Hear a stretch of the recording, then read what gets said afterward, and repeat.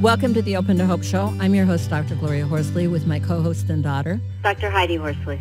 This show is brought to you in partnership with the Compassionate Friends and the Elizabeth Kubler-Ross Foundation. Well, Heidi, we're going to talk about life after death today and about the fear of dying and that kind of thing with somebody who has written a book about it and knows a lot about it. It's going to be interesting, isn't it, Heidi? It is, Mom. And, and you know, Sandra's going to talk to us today about not only the fear of dying, but about how we find hope after we've had a loss. And I think the idea that there is life after death helps us to find hope, and it's very comforting. Absolutely.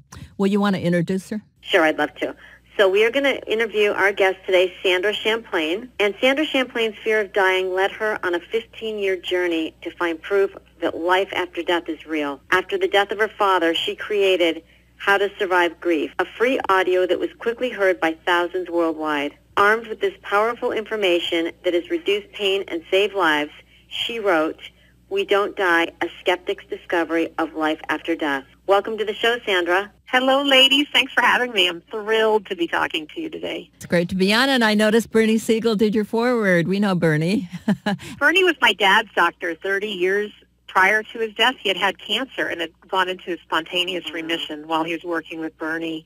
And um, just a quick note, when it came time to write a book, I had a couple that was coaching me, you know, how do I take my words and put them in a book? And they said I needed a very powerful forward. And I said, I don't know anybody that's famous that would probably do it. And, and the man who was coaching me said, I keep getting this intuitive hit that you're supposed to call Bernie Siegel. And it was in like that moment that I got the flashback of him being my dad's doctor, and of course he didn't know me, but Bernie remembered my dad from 30 years before that, and it was just, I've had miracles upon miracles producing this book. So yeah, it's That's good an stuff. amazing story. That really is. Yeah. I mean, and that kind of fits in on what we're talking to about. I mean, the I don't know if you want to talk about the veil between life and death, and you know, and people's fears and now, now, what made you, um, you know, go on this journey to figure out if there's life after death? What made you head there? It's very interesting. Yeah, it wasn't a loss per se, although I had lost pets and my grandfather had died,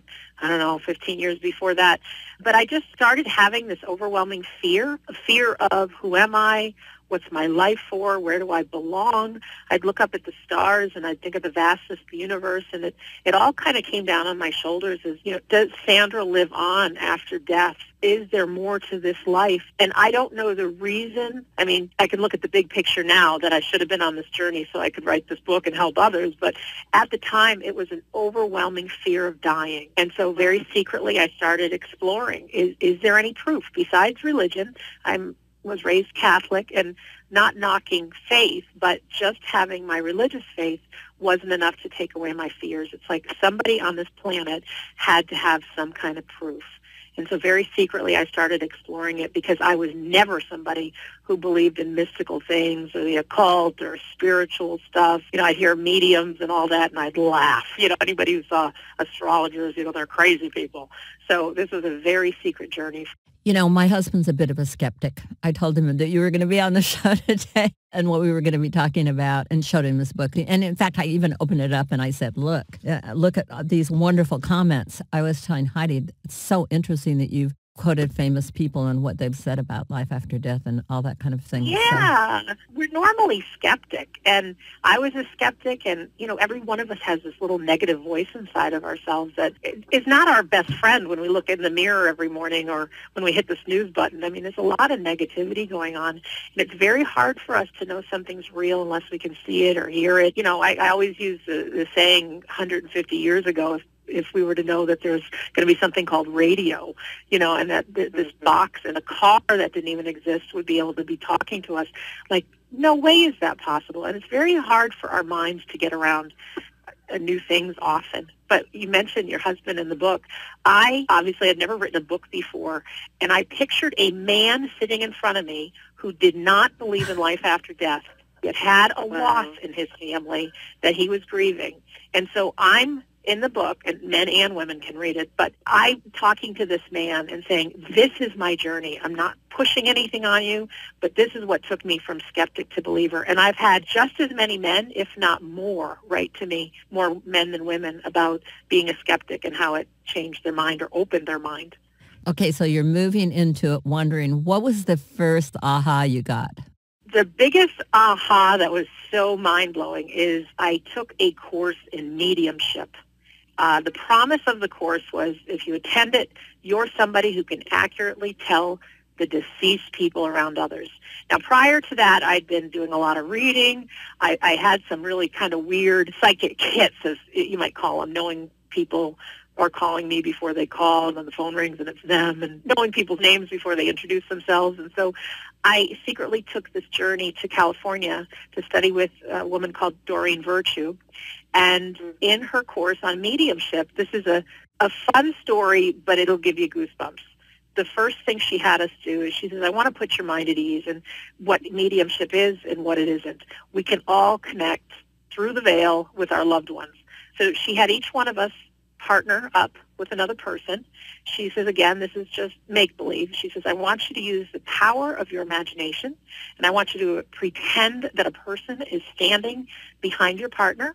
She says, you close your eyes, you will say a prayer beforehand, you imagine your heart's connecting with like a invisible energy field, and then she says, you know, you got to use be polite because there's still people, and just introduce yourself quietly.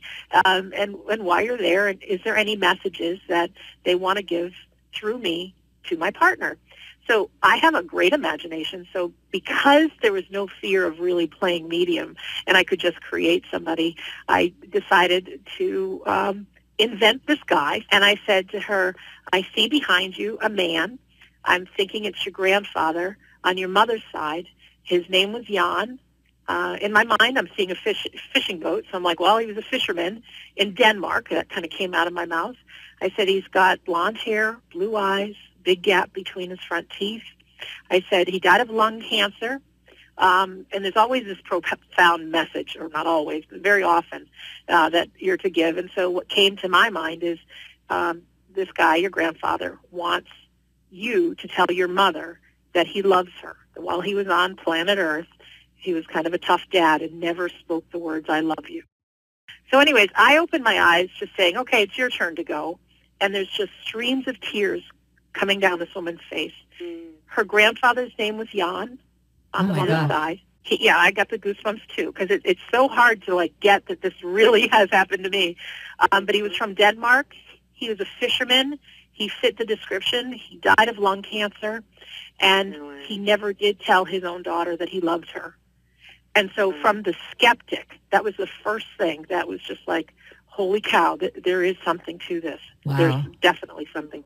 Yeah. So then I just kept digging, digging, digging, digging, digging. What else can I find? I just, uh, we had an experience a couple of months ago in our Compassionate Friends. We have a meeting for bereaved parents, and there was a woman there who said, I didn't believe in any kind of afterlife stuff. Her husband just died. She's had a really rough time. Her daughter died. So she said, I went to the Compassionate Friends National Conference last year, and I sat next to this woman, and, and I was a total skeptic about anything. And I had said before I went, you know, if there's anything going on in this afterlife, give me a sign. She said, I never thought I'd get a sign. Yeah. She said, I turned to the woman next to me and I said, well, tell me about your child's death. It turned out this is the same name as her daughter. She was studying to be a veterinarian and they were born on the same day. Oh my gosh.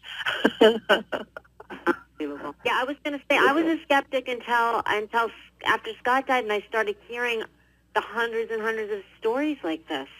And then it's kind of hard to be a skeptic because you know what you like, no matter what people's religious beliefs are, socioeconomic, you know, ethnicity, whatever, there's all these common threads and themes that run through stories about loss. One of the things I really like in your book is you've got homework assignments. I mean, this book is, you know, if people yes. really want to go into it. I mean, they don't have to take your word for it, do they? They can look at your journey and, and you're telling them what they can yeah. do. Yep. You know, one of the DJs that interviewed me in, actually it was in Connecticut after the Sandy Hook uh, massacre, um, I went on a local radio show, and um, one of the things he said is, uh, my book, We Don't Die, is more than just a why there's life after death and helping people through grief.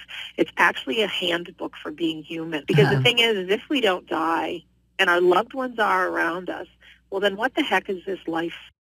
And so the exercises inside We Don't Die are for people to um, get in touch with who they are, what their dreams are, what their life's about. You know, there's something that happens when most people die is they look back on this life and there's regrets, you know, there's fears of the unknowns, there's what I should say, what I shouldn't have said. People are reaching towards faith even if they've never had it before. And what would it be like to have everything handled uh, so that when we close our eyes for the very last time here on planet Earth, like we know, we really look back on our life like it made a difference. And so that's what people get up doing the exercise. Okay, give me one of your favorite exercises. My favorite exercise, I think, is and this is a, a morning exercise, is to have a, a notepad that you keep by your bed, and you do two things in the morning. One is you say what you're grateful for. And there's a thing about it's so easy to see what we haven't done or what we need to do or where we're not good enough, but on the gratitude list is like you really think about what you're grateful for in life and it can really be some of the basics. I mean there's some homeless people out there. It's winter time now when we're recording this and you know we're inside a warm cozy house. Well make a list of, of some things you're grateful for. And then the second thing is is if you were to talk to anybody in your life and you were to ask them you know what are the five best things about me or, or what would you say about me or you don't even have to say the best things but if you were to describe me to somebody you know what what would you say? And when you can either literally talk to people and ask them this question, or you can really think about it, what would people say? And so for me, for example, who's, you know, I've got the unlovable, still single at the age of 48, you know, not good enough, not pretty enough. Well, when I think about what people would say, I'm loving, I'm generous, I make a difference, I'm passionate, I'm funny, I'm inspiring, you know, and, and more of those words start coming out. It's it's like it puts that little voice of negativity in the back seat if we were driving a car. And it can start our day being super duper duper empowered to go after our dreams um, and our goals and to make things happen. So tell people how they can get your book. Uh, my book is available wherever you buy books. We don't Die, A Skeptic's Discovery of Life After Death is the title. Just to share with you and your listeners, I started my own podcast, my own radio show, where I interview people why they believe in life after death. So don't just take my word for, for it with my book, but listening to these stories. And I'm sharing this website because it's also the way to get in touch with Great. me. We don't die radio.com we don't die. Spell it as all one word. And on there, if you join what I call as my insiders club, I actually have a preview copy of my book that you can you can read like the PDF style. You can get a free copy of that How to Survive Grief audio that's made such a difference and a whole bunch of other stuff. I, I'm a firm believer in giving it all and, and making a difference wherever I can. And in turn, a ton of people buy my book, so I'm not worried about the sales. I'd rather make a difference in someone's wow. life. So uh, we don't die radio.com. Great. And I'm looking at your book right now, and all of a sudden I felt like I was walking down that bridge into that light, my girl. Wow. That was powerful. Wow. Sandra, I just wanted to ask you something because uh, in the book you talked about race car driving and cooking. W- what's your day job? Oh, it's a funny thing because people would never expect this, but my mom and I started a catering business almost 30 years ago that we cook for race car teams. We travel from Florida, from Daytona, California, Toronto, um, all over the place, cooking for minimum 500 people per meal, maximum 1,500 people per meal.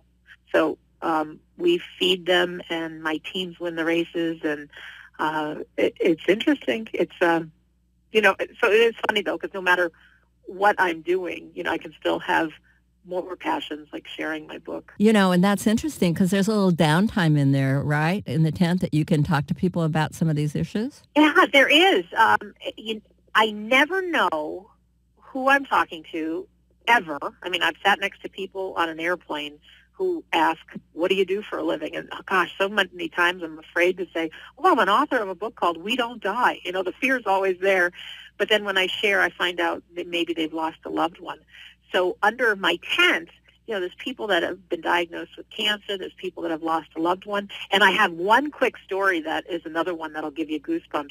One of the race car drivers who is now an ESPN television announcer, he saw my book table because I'm at the racetrack. I've got the buffet, but then there's also a table where I'm selling my books. I love a banner it. that says "We Don't Die." And he came up to me and he says, "Sandra, what's this book all about?" And so I told him my story, And he said to me, can I share something with you that I've never told anyone? And I'm like, absolutely. He said, when I was in my 20s, he said, I got into a terrible car accident. And he said, I actually flatlined on the operating table. He said, I rose above my body, like you hear about. He said, my grandmother and grandfather were there. He says, it was a world more real than what we have now. And he said, I knew I had died, but he said, I was floating over my body and I could see my mom and my dad and my brother praying for me. So he said, I knew I had the choice whether to go with Grandma and Grandpa or come back to Earth. And he said, I chose to come back to Earth. And he said, when he woke up in his body, he was obviously in a lot of pain. But where this man went from his 20s into, he's now in his, in his um, late 50s, he won a ton of championships in all different kinds of series of racing. And he said, Sandra, because I wasn't afraid of dying, I wasn't afraid of living. So he says I took more chances, and he said I, I was more aggressive on the race car, in the race car. And so it's interesting because here's a man who's never told this story because he was afraid of what people would think. And so he confided it in me. And I thought to myself, if people can read my book, We Don't Die, and can learn to not be afraid of dying, so not be afraid of living. Now, I don't mean go 200 miles an hour in a race car, but to take risks, to say things to someone like you may be afraid to say I love you. You might be afraid to go after that new job. You may be afraid to whatever it is and to know that there's ultimately nothing to be afraid of and to play a little bit more full out in life. So I love that. And that came out of just a conversation at the racetrack. Well, thank you so much for being on the show again. And I also know that you do speaking and engagements and uh, you go to conferences and that kind of thing. And so if people want that, they can get uh, in touch with you through your website, right? Or you can spell sandrachamplain.com. Um, okay. And get to me there. Takes, takes you to the same place, either website. All right. Fantastic. And thank you so much for being on the show and for all your good works. You're welcome. Ditto. Back at you. Thanks, Sandra. Thank you for all your positive message of hope for everybody out there that's lost their. So thank you for that. Well, Heidi, you know, you and I know, particularly with bereaved parents or whatever, they do need some reassurance that there are things there, but also that there are some things that they can do to raise their vibration. I, I really like those ideas that Sandra had. I love that. And like Sandra said, we can get really down on ourselves, especially when we've had a major loss in our lives. I like the idea of doing a quick gratitude. Okay, what are things out there that we're still grateful for, even though we've had this loss? Mm-hmm um, I think that's pretty powerful because it does shift your energy. Right. Well, thanks for listening to our show today, and we hope that you will work on your vibration and, and some energy shift and hope that you can feel some of ours today. And we want to, Heidi and I want to remind you that if you've lost hope, we offer to have you lean on ours until you find your own. And God bless.